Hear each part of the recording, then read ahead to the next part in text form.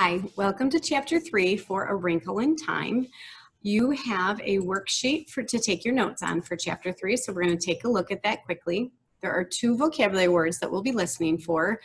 Dubiously, I just love the way that word sounds, dubiously. And then a very important word, we're going to hear this word over and over and over throughout the book, and that word is tangible. Um, I will point out that it says here, chapter three introduces the central conflict of the story. So I want to remind you that a conflict is a struggle between opposing forces. When we see central conflict, that means it's going to be the conflict that occurs throughout the entire book. So there will be multiple conflicts throughout the whole novel, but the central one is the main purpose of the novel. So we're just getting into what's really the inciting incident um, when we learn about this conflict. Um, remind you that you have to use at least two text details to describe what the conflict is and how the reader learns about it. So that's you're going to also be touching on not only what the conflict, but how you learned what the conflict is. Okay, uh, we're going to uh, set that aside. And if you have the yellow book, you are on page 38. You know that's the one I'm reading from because I've got all my notes in it. Uh, if you are reading from this book, you are on page 45. All right, follow along with me, please. Chapter 3 is called Mrs. Which. In the forest, evening was already beginning to fall, and they walked in silence. Charles and Fortinbras gambled on ahead. Calvin walked with Meg, his fingers barely touching her arm in a protective gesture. This has been the most impossible the most confusing afternoon of my life, she thought. Yet, I don't feel confused or upset anymore. I only feel happy. Why? Maybe we weren't meant to meet before this, Calvin said. I mean, I knew who you were in school and everything, but I didn't know you. But I'm glad we've met now, Meg. We're going to be friends, you know. I'm glad too, Meg whispered, and they were silent again. When they got back to the house, Mrs. Murray was still in the lab. She was watching a pale blue fluid move slowly through a tube from a beaker to a retort. Over a Bunsen burner bubbled a big earthen dish, earthenware dish of stew. Don't tell Sandy and Dennys I'm cooking out here, she said. They're always suspicious that a few chemicals may get in with the meat, but I had an experiment I wanted to stay with. This is Calvin O'Keefe, Mother, Meg said. Is there enough for him too? It smells super. Hello, Calvin. Mrs. Murray shook hands with him. Nice to meet you. We aren't having anything but stew tonight, but it's a good thick one. Sounds wonderful to me, Calvin said. May I use your phone so my mother will know where I am? So I'm going to stop to remind you that this is 1960s is when this was written. So even that term super, I don't know if any of you have ever seen the Brady Bunch, but that's what it makes me think of as one of the, the daughters calling something super. And then also the idea of having to use their telephone. The kids don't have their own phones. Um, they need to use the telephone that's probably attached to the wall to call home. Of course, show him where it is, will you please, Meg? I won't ask you to use the one out here, if you don't mind. I'd like to finish up this experiment. Meg led the way into the house. Charles Wallace and Fortinbras had gone off. Outdoors, she could hear Sandy and Dennys hammering at the fort they were building up in one of the maples. This way, Meg went through the kitchen and into the living room. I don't know why I call her when I don't come home, Calvin said, his voice bitter. She wouldn't notice. He sighed and dialed. Ma? He said, Oh, Hanky, tell Ma I won't be home till late. Now don't forget, I don't want to be locked out again. He hung up, looked up at Meg. Do you know how lucky you are? So pause there for a second. So he calls home because that's the right thing to do. When you're going to be late, your family doesn't know where you are, you should call and let them know where you are. Um, but it sounds like the family really doesn't even care. The last time he was out late, they locked the door as though they didn't even notice he was gone. She smiled rather wryly. Not most of the time. A mother like that? A house like this? Gee, your mother's gorgeous. You should see my mother. She had all her upper teeth out, and Pop got her a plate, but she won't wear it. And most days, she doesn't even comb her hair. Not that it makes much difference when she does. He clenched his fists. But I love her. That's the funny part of, of it. I love them all, and they don't give a hoot about me. Maybe that's why I call when I'm not going to come home, because I care. Nobody else does. You don't know how lucky you are to be loved. Meg said in a startled way, I guess I never thought of that. I guess I just took it for granted. Calvin looked somber. Then his en- enormous smile lit up his face again. Things are going to happen, Meg. Good things. I feel it. He began wandering, still slowly, around the pleasant, if shabby, living room. He stopped before a picture on the piano of a small group of men standing together on a beach. Who's this? Oh, a bunch of scientists. Where? Meg went over to the picture. Cape Canaveral, this one's father. Which? Here, the one with glasses. Do you guys know where Cape Canaveral is?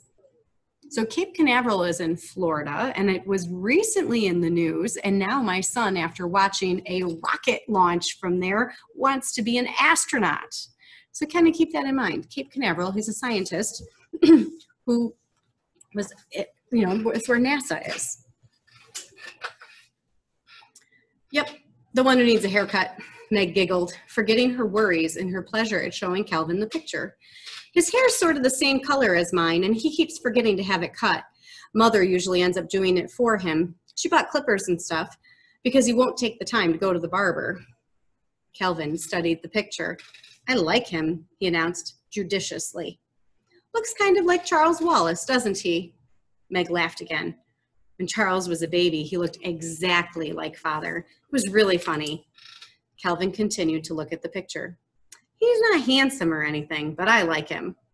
Meg was indignant. We had that word before, angrily aroused by something unfair. She says, He is too handsome. Calvin shook his head. Nah, he's tall and skinny like me. Well, I think you're handsome, Meg said. Father's eyes are kind of like yours too, you know, really blue. Only you don't notice his as much because of the glasses. Where is he now? Meg stiffened. But she didn't have to answer because the door from lab to kitchen slammed, and Mrs. Murray came in carrying a dish of stew. Now, she called, I'll finish this up properly on the stove. Have you done your homework, Meg? Not quite, Meg said, going back into the kitchen.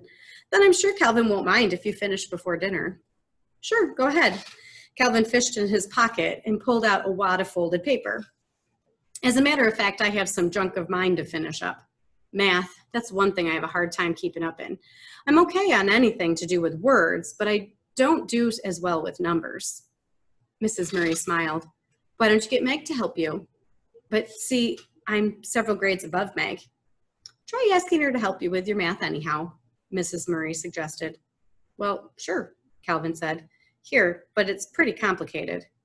Meg smoothed out the paper and studied it. Do they care how you do it she asked.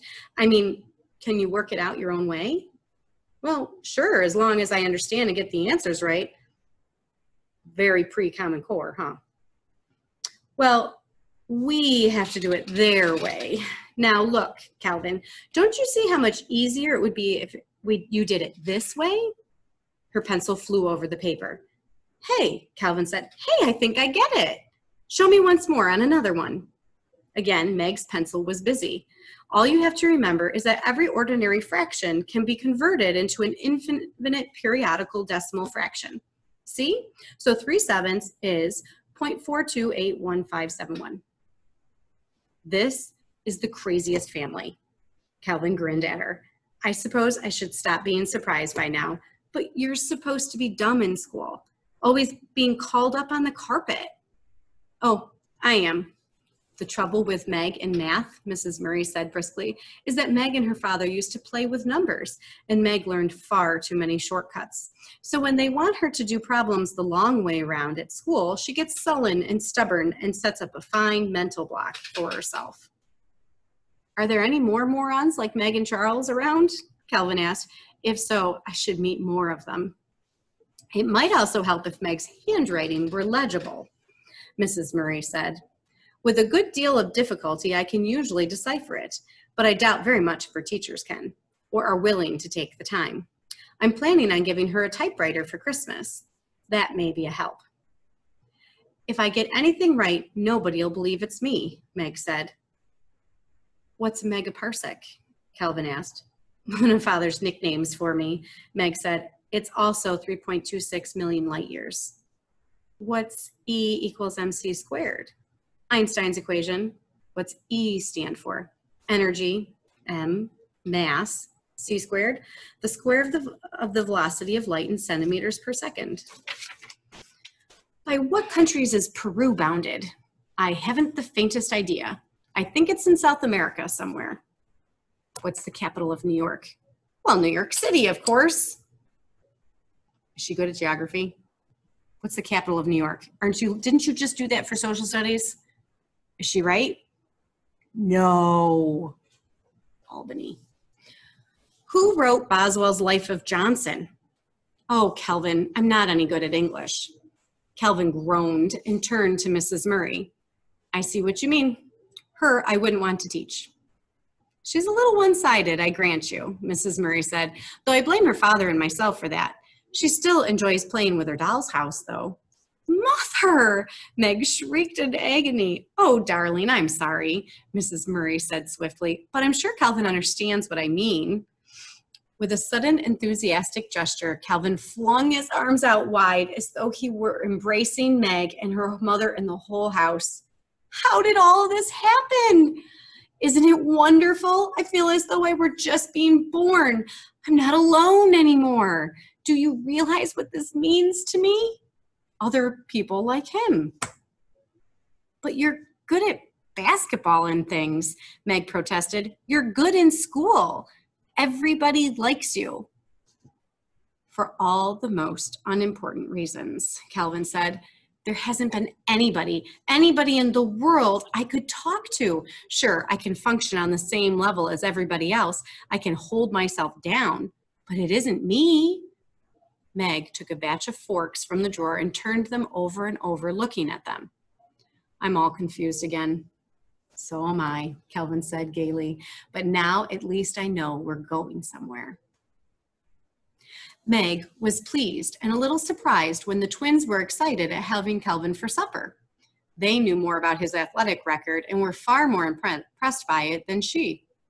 Calvin ate five bowls of stew, three saucers of jello, and a dozen cookies. And then Charles Wallace insisted that Calvin take him up to bed and read to him.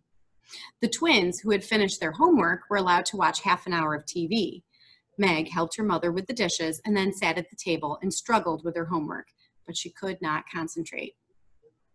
Mother, are you upset? She asked suddenly. Mrs. Murray looked up from a copy of an English scientific magazine through which she was leafing. For a moment, she did not speak. Then, yes. Why? Again, Mrs. Murray paused. She held her hands out and looked at them. They were long and strong and beautiful. She touched with the fingers of her right hand the broad gold band on the third finger of her right hand, or of her left hand. I'm still quite a young woman, you know, she said finally, though I realize that that's difficult for you children to conceive, and I'm still very much in love with your father. I miss him quite dreadfully. And you think all this has something to do with father? I think it must have. But what? That I don't know. But it seems the only explanation. Do you think things always have an explanation? Yes, I believe they do. But I think that with our human limitations, we're not always able to understand the explanations. But you see, Meg, just because we don't understand doesn't mean that the explanation doesn't exist. I like to understand things, Meg said. We all do, but it isn't always possible. Charles Wallace understands more than the rest of us, doesn't he? Yes. Why? I suppose because he's, well, because he's different, Meg. Different how? I'm not quite sure. You know yourself he's not like anybody else. No, I wouldn't want him to be, Meg said defensively. Wanting doesn't have anything to do with it. Charles Wallace is what he is different, new. New? Yes, that's what your father and I feel. Meg twisted her pencil so hard that it broke. She laughed. I'm sorry, I'm really not being destructive. I'm just trying to get things straight. I know, but Charles Wallace doesn't look different from anybody else. No, Meg, but people are more than just the way they look. Charles Wallace's difference isn't physical, it's an essence. Meg sighed heavily, took off her glasses, and twirled them, twirled them, put them back on again. Well, I know Charles Wallace is different, and I know he's something more. I guess I'll just have to accept it without understanding it. Mrs. Murray smiled at her. Maybe that's really the point I was trying to put across. Yeah, Meg said dubiously. So in the yellow book, dubiously is on page 47. Um, I'm not sure what page it's on in the other book. So hopefully you're following along with me and you can look and see exactly what page you're on. And I will let you know she's saying that doubtfully. Doubtfully would be a synonym for dubiously. Her mother smiled again. Maybe that's why our visitor last night didn't surprise me. Maybe that's why I'm able to have a, a willing suspension of disbelief because of Charles Wallace. Are you like Charles Wallace? Meg asked. I? Heavens no. I'm blessed with more brains and opportunity than many people, but there's nothing about me that breaks out of the ordinary mold. Your looks do, Meg said. Mrs. Murray laughed. You just haven't had enough basis for comparison, Meg. I'm very ordinary, really. Calvin O'Keefe coming in then said, Ha ha, Charles all settled? Mrs. Murray asked. Yes. What did you read to him? Genesis, his choice. By the way, what kind of an experiment were you working on this afternoon, Mrs. Murray? So, Genesis is the first book of the Bible. Oh, something my husband and I were cooking up together. I don't want to be too far behind him when he gets back. Hmm, I'm going to restate that again. That although I realize that we don't you don't have the background, but I'm going to tell you that this is a hint towards the future. And I started to go over this poster. Uh, you can't read it in the video, but over here, I have my foreshadowing hints or clues that suggest what will happen later in the story. Make some predictions when we I reread the sentence. I don't want to be too far behind him when he gets back. Mother, Meg pursued, Charles says I'm not one thing or the other, not flesh nor fowl nor good red herring. Oh, for crying out loud, Calvin said, You're Meg, aren't you? Come on and let's go for a walk. But Meg still was not satisfied. And what do you make of Calvin? she demanded of her mother. Mrs. Murray laughed. I don't want to make anything of Calvin. I like him very much, and I'm delighted he's found his way here. Mother, you were going to tell me about a tesseract. Yes. A troubled look came into Mrs. Murray's eyes. But not now, Meg, not now. Go on out for that walk with Calvin. I'm going up to kiss Charles, and then I have to see that the twins get to bed. Outdoors, the grass was wet with dew. The moon was halfway up and dimmed the stars for the great arc. Calvin reached out and took Meg's hand with a gesture as simple and friendly as Charles Wallace's. Were you upsetting your mother? he asked gently. I don't think I was, but she's upset. What about? Father. Calvin led Meg across the lawn. The shadows of the trees were long and twisted, and there was a heavy, sweet autumnal smell to the air. Meg stumbled as the land sloped suddenly downhill, but Calvin's strong hand steadied her. They walked carefully across the twins' vegetable garden, picking their way through rows of cabbages, beets, broccoli, pumpkins. Looming on their left were the tall stalks of corn. Ahead of them was a small apple orchard bounded by a stone wall, and beyond this, the woods through which they had walked that afternoon. Calvin led the way to the wall and then sat there. His red hair shining silver in the moonlight, his body dappled with patterns from the tangle of branches. He reached up, pulled an apple off a gnarled limb, and handed it to Meg, then picked one for himself.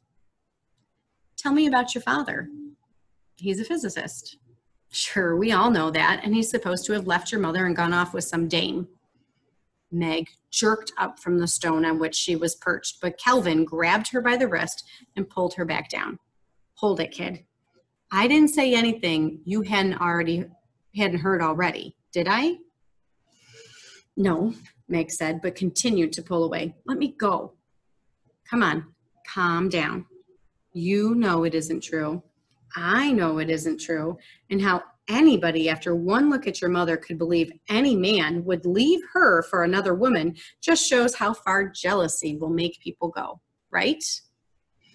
I guess so, Meg said, but her happiness had fled and she was back in a morass of anger and resentment. Look, dope, Calvin shook her, her gently. I just want to get things straight. Sort of sort out the fact from fiction. Your father's a physicist. Physicist. That's a fact, yes? Yes. He's a PhD several times over? Yes. Most of the time he works alone, but some of the time he was at the Institute for Higher Learning in Princeton, correct? Yes. Then he did some work for the government, didn't he? Yes. You take it from there. That's all I know. That's about all I know, too, Meg said. Maybe Mother knows more. I don't know. What he did was, well, it was what they call classified. Top secret, you mean? That's right. And you don't even have any idea what it was about? Meg shook her head. No, not really. Just an idea because where he was. Well, where? Out in New Mexico for a while. We were with him there, and then he went in Florida at Cape Canaveral, and we were with him there too. And then he was going to be traveling a lot, so we came here. You'd always had this house? Yes, but we used to live in it just in the summer and you don't know where your father was sent? No, at first we got lots of letters. Mother and father always wrote each other every day. I think mother still writes him every night. Every once in a while, the postmistress makes some kind of a crack about all her letters. I suppose they think she's pursuing him or something, Calvin said rather bitterly. They can't understand plain, ordinary love when they see it. Well, go on. What happened next? Nothing happened, Meg said. That's the trouble. Well, what about your father's letters? They just stopped coming. You haven't heard anything at all? No, Meg said. Nothing. Her voice was heavy with misery. Silence fell between them, as tangible as the dark tree shadows that fell across their laps and that now seemed to rest upon them as heavily as though they possessed a measurable weight of their own. So there's our vocabulary word tangible on page 51 in this book, and I do have the page, page 59 in the other book. I'm gonna break that down for, so tangible, I don't have a fantastic definition, but as I'm going like this, it's like able to be touched, something along those lines. But they're saying that the silence is almost so heavy that you can feel it, almost feel the silence around them that word will come up more often as well. At last, Calvin spoke in a dry, unemotional voice, not looking at Meg. Do you think he could be dead? Again, Meg leaped up, and again, Calvin pulled her down. No, they'd have told us if he were dead. There's always a telegram or something. They always tell you. What do they tell you? Meg choked down a sob, managed to speak over it, Oh, Calvin, mother's tried and tried to find out. She's been down to Washington and everything. And all they'll say is that he's on a secret and dangerous mission and she can be very proud of him. But he won't be able to to communicate with us for a while. And they'll give us news as soon as they have it. Meg, don't get mad. But do you think maybe they don't know? A slow tear trickled down Meg's cheek. That's what I'm afraid of. Why don't you cry? Calvin asked gently. You're just crazy about your father, aren't you? Go ahead and cry. It'll be it'll do you good. Meg's voice came out trembling over tears. I cry much too much. I should be like mother. I should be able to control myself. Your mother's a completely different person, and she's a lot older than you are. Wish I were a different person, Meg said shakily. I hate myself. Calvin reached over and took off her glasses. Then he pulled a handkerchief out of his pocket and wiped her tears. This gesture of tenderness undid her completely, and she put her head down on her knees and sobbed. Calvin sat quietly beside her, every once in a while patting her head. I'm sorry, she sobbed finally. I'm terribly sorry. Now you'll hate me. Oh, Meg, are a moron, Calvin said. Don't you know you're the nicest thing that's happened to me in a long time? Meg raised her hand, her head, and moonlight shone on her tear stained face. Without the glasses, her eyes were unexpectedly beautiful. If Charles Wallace is a sport, I think I'm a biological mistake. Moonlight flashed against her braces as she spoke. Now she was waiting to be contradicted, but Calvin said, Do you know that this is the first time I've seen you without your glasses?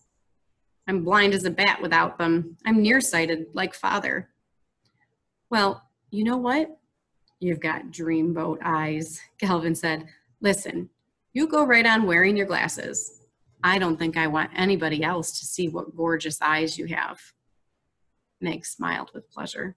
She could feel herself blushing, and she wondered if the blush would be visible in the moonlight. Okay, hold it, you two, came a voice out of the shadows. Charles Wallace stepped into the moonlight. I wasn't spying on you, he said quickly, and I hate to break things up, but this is it, kids. This is it. His voice quivered with excitement. This is what? Calvin asked. We're going. Going? Where? Meg reached out and instinctively grabbed for Calvin's hand. I don't know exactly, Charles Wallace said, but I think it's to find father. Suddenly, two eyes seemed to spring at them out of the darkness. It was the moonlight striking on Mrs. Who's glasses.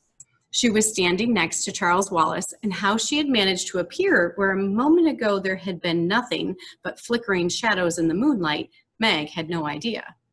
She heard a sound behind her and turned around there was Mrs. Whatsit scrambling over the wall. My, but I wish there were no wind, Mrs. Whatsit said plaintively. It is so difficult with all these clothes.